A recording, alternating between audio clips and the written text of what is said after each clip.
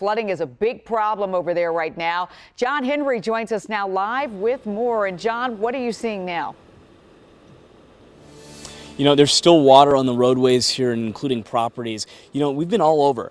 Fairfax County today, Dahlgren in Virginia over by the Naval Base, and now southern Charles County here near Cobb Island. And we keep hearing the same thing from residents no matter where we are in our region. Quote, I've never seen anything like this before. And actually, what you're seeing right now here at the intersection of Pine Grove Road and Cobb Island roads is a little bit of good news. This water is receding. It was worse than this just about 30 minutes ago and was worse than this earlier today. Unfortunately, this is a low lying area near the confluence confluence of the uh, excuse me, Wicomico and uh, Potomac rivers, um, but there's still a lot of water here on this roadway, and actually you can't access Cobb Island. Now we've been telling you uh, for a few days now about a missing uh, firefighter, uh, missing volunteer firefighter um, who's been missing uh, ever since he went crabbing on Wednesday in the Potomac River. The search for him, at least the Coast Guard search for him, has been suspended at this moment until the weather clears up a little bit. A lot of people here are concerned about his well being.